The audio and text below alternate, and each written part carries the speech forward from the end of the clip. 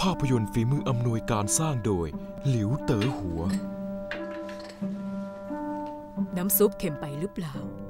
ฮะ การันตีความยอดเยี่ยมด้วยรางวัลจากเทศกาลหนังทั่วโลก